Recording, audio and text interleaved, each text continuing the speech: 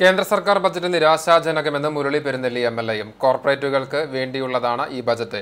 കാർഷിക മേഖലയെ പാടെ അവഗണിച്ച ബജറ്റ് സാധാരണ ജനങ്ങളെ മറന്നുകൊണ്ടുള്ള ബജറ്റാണെന്നും മുരളി പെരുന്നെല്ലി കൂട്ടിച്ചേർത്തു. പെട്രോൾ ഡീസൽ വില വർധനവ് ഏറ്റവും ഗുരുതരമായി ബാധിക്കുന്ന സംസ്ഥാനമാണ് കേരളം. സമസ്ത സാധനങ്ങളും റെയിൽവേ വഴിയും മറ്റു വാഹനങ്ങൾ വഴിയുമാണ് കേരളത്തിലേക്ക് എത്തപ്പെടുന്നത്. പെട്രോളിനും ഡീസലിനും വില വർദ്ധിക്കുന്നതോടെ അവശ്യവസ്തുക്കളുടെ വില കുതിച്ചുയരും. ഈ നൂറ്റാണ്ട് കണ്ട ഏറ്റവും രൂക്ഷമായ മഹാപ്രളയത്തെ അതിജീവിച്ച് മുന്നോട്ടു പോകുന്ന കേരള സമൂഹത്തെ സഹായിക്കാനുള്ള ഒരു നടപടിയും ഈ ബജറ്റിലില്ല. ബി ജെ പിയുടെ പൊതു സ്വഭാവമായ കോർപ്പറേറ്റ് അനുകൂല ബജറ്റാണ് അവതരിപ്പിക്കപ്പെട്ടത്. കേരളത്തോടുള്ള ദ്രോഹകരമായ നിലപാടാണ് ബജറ്റിൽ വ്യക്തമാക്കുന്നതെന്നും എം എൽ എ കുറ്റപ്പെടുത്തി. ഇന്നലെ പാർലമെന്റിൽ അവതരിപ്പിക്കപ്പെട്ട കേന്ദ്ര ബജറ്റ് പൊതുവെ കേരളത്തെ സംബന്ധിച്ച് പരിശോധിച്ച് നോക്കിയാൽ വളരെ നിരാശാജനകമാണെന്നുള്ളത് കാണാൻ കഴിയും. ഇപ്പോൾ പെട്രോളിന്റെയും ഡീസലിന്റെയും വില വർധനവ് ഏറ്റവും ഗുരുതരമായി ബാധിക്കുന്ന ഒരു സംസ്ഥാനമാണ് കേരളം. സമസ്ത സാധനങ്ങളും ഈ റെയിൽവേ വഴി മറ്റു വാഹനങ്ങൾ വഴി കേരളത്തിലേക്ക് എത്തേണ്ടതാണ്.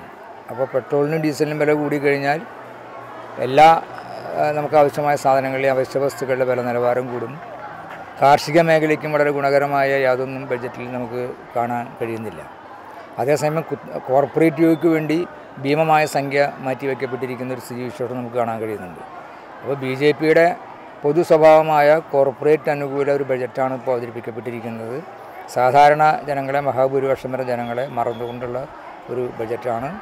അതുപോലെ തന്നെ കേരളത്തെ സംബന്ധിച്ചിടത്തോളം കേരളത്തിന്റെ വികസനത്തിന് സഹായകരമായ യാതൊന്നും ആ രൂപത്തിൽ കാണാൻ കഴിയുന്നില്ല. ഏറ്റവും രൂക്ഷമായ ഈ നൂറ്റാണ്ട് കണ്ടിട്ടില്ലാത്ത മഹാപ്രളയം അതിജീവിച്ച് പോകുന്ന ഒരു സമൂഹമാണ് കേരള സമൂഹം. അവരുടെ മുന്നോട്ട് പോക്കിന് സഹായകരമായ വിധത്തിൽ പണം കണ്ടെത്തുന്നതിന് വേണ്ടി നമ്മുടെ കടമെടുക്കുന്നതിന്റെ ആ ലിമിറ്റ് വർദ്ധിപ്പിക്കണം എന്നുള്ള ആവശ്യം പോലും കേന്ദ്ര ഗവൺമെന്റ് അനുവദിച്ചിട്ടില്ല. കൂടുതൽ സഹായം വേണമെന്നല്ല ആവശ്യപ്പെടുന്നത്.